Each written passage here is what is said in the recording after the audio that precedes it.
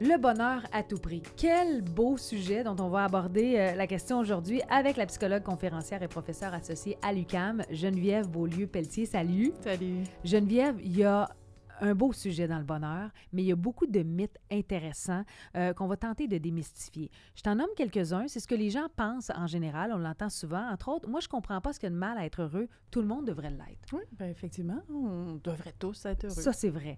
Euh, S'il y a vraiment un sentiment que j'aimerais toujours vivre, c'est bien le bonheur. Euh, les gens qui sont toujours heureux, c'est louche. C'est impossible d'être parfait. Ah, ben oui, c'est très, très louche, Ah effectivement. Aspirer à être heureux, tout le monde devrait faire ça. Euh, je pense qu'on veut tous ça. Mm. Et celui-ci, je l'aime bien. C'est facile d'être heureux quand t'es beau, t'es riche, t'es amoureux. Puis pour le reste du monde, c'est plus compliqué. Oui, on l'entend souvent, puis ça peut même être très irritant de penser ça. Ben justement, on va aborder la question du bonheur à tout prix. S'il y a une émotion qu'on veut tous ressentir, que c'est le fun de ressentir, c'est le bonheur. Mais pourquoi on a un problème avec ça? C'est humain de vouloir aspirer au bonheur. Mhm. Tout le monde veut Ben oui. être heureux. Puis, alors, c'est vraiment une- un élan très authentique, je dirais. OK.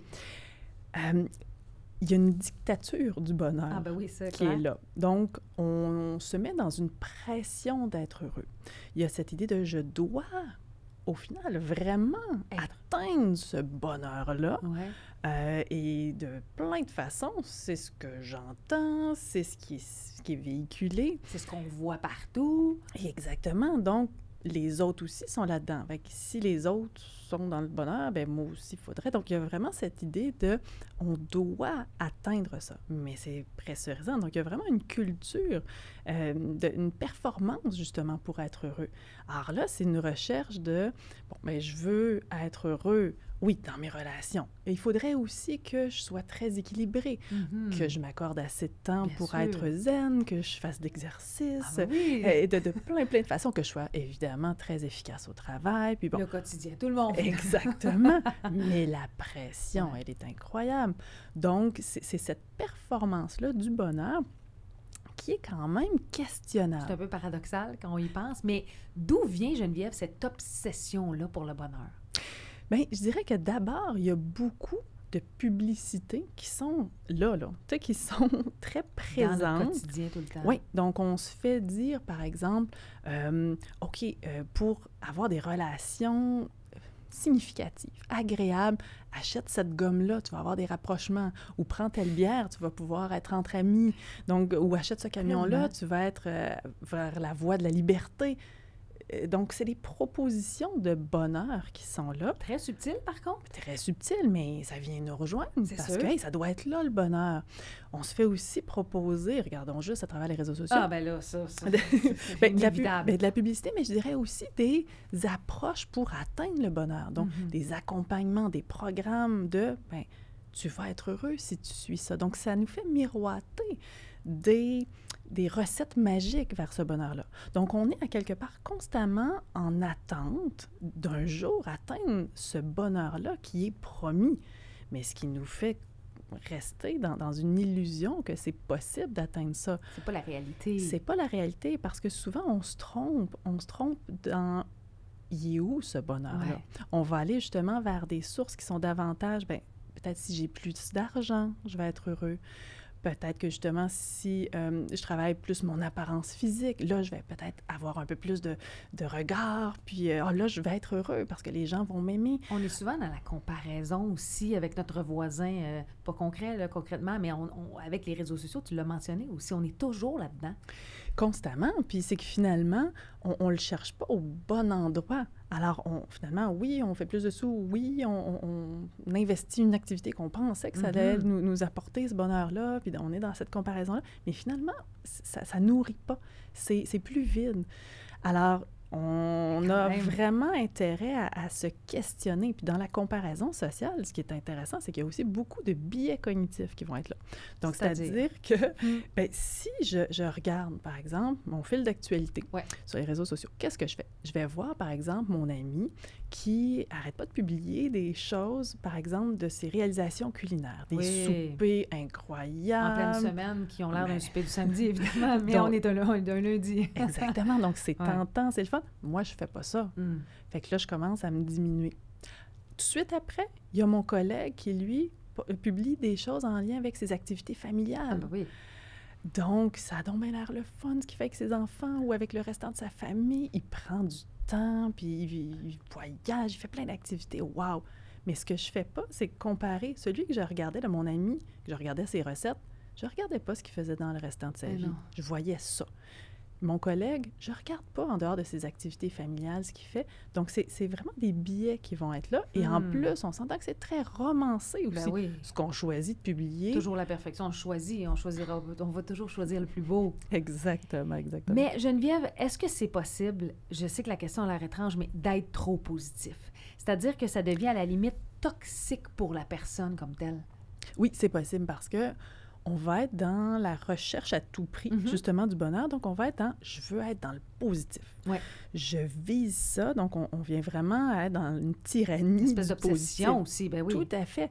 Et ce qui fait en sorte qu'on va écarter le négatif. On est dans une recherche d'un monde tout bon, tout parfait, mais c'est pas la réalité. Mhm. Ce n'est pas ça. On vit pas dans un monde de licorne, là. Il y a personne qui vit dans un monde de licorne. Exactement. Et c'est qu'en se coupant des aspects négatifs, donc Ouais. des défis, des difficultés, des obstacles, des émotions qui sont plus difficiles, ben je me prive de beaucoup de sources d'apprentissage, Hmm. de beaucoup de sources, en fait, réelles où je vais pouvoir me développer. On parle souvent de résilience, mais Ouais. c'est à travers les épreuves, c'est à travers les défis et les émotions négatives que va pouvoir émerger la résilience. Donc, j'ai besoin d'obstacles pour être capable de ben, développer mes ressources puis faire Ah, super, j'ai été capable de Ben oui. passer au travers de ça.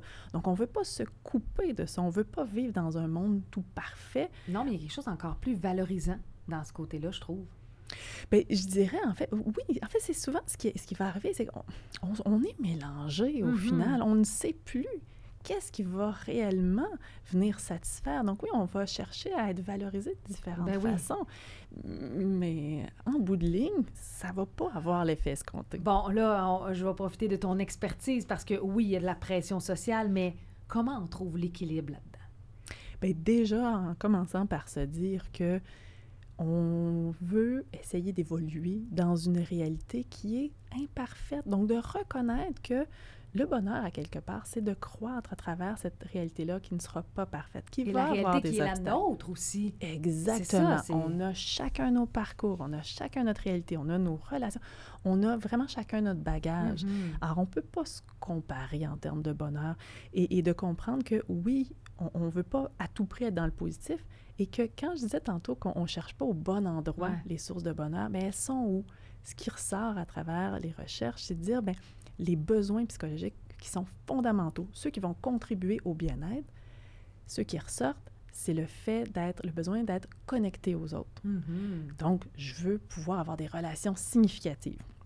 Alors là, ça, c'est le premier. Il y en a un autre qui est le besoin d'autonomie, de sentir que je fais des choix dans la vie, Ouais. que je, je vais vers des activités euh, qui me ressemblent, Qui sont les miennes, qui sont Exact. notre propre choix. qui sont cohérentes. Donc vraiment, ça, c'est très, très important. Sentir que j'ai un certain contrôle sur mon existence, même s'il y a des zones qui Mhm. seront pas possibles, que, que- que- il va y avoir certaines obligations, oui, mais est-ce que je peux miser sur certaines zones de contrôle que je peux avoir, éviter d'être dans la culpabilité, donc de faire des choses par culpabilité, c'est des petites choses comme ça au quotidien. Et donc, besoin de connexion, le besoin d'autonomie, et le troisième qui ressort à travers la littérature, c'est le besoin de compétences. Donc, de sentir que on développe nos capacités, nos habiletés, qu'on investit des activités qui, qui nous permettent de nous développer. Alors ça, là, au quotidien, c'est de petites sphères, des petits besoins qu'on peut alimenter, mais qui ont vraiment un grand impact sur l'augmentation du bien-être psychologique. Tout ce moment me rend rempli de bonheur, du bonheur positif. Geneviève Beaulieu, Pelletier, psychologue, merci beaucoup pour nous avoir éclairé sur le sujet. On souhaite tous être heureux, mais à notre niveau, à notre propre bonheur à nous. J'espère que vous avez apprécié vous aussi. D'ailleurs, partagez le balado si euh, ça vous intéresse. Et si vous n'êtes pas encore abonné, ben, abonnez-vous à Togo, le balado pour ne rien manquer, soit via le site web montougo.ca, Apple Podcast, Google Podcast, Spotify ou encore Cube. Et merci à vous de nous avoir écoutés, d'avoir été au rendez-vous. J'espère que vous en avez appris autant que moi. Et ben, je vous rappelle que ce balado est une présentation de montougo.ca, des habitudes santé que vous aimerez. Merci.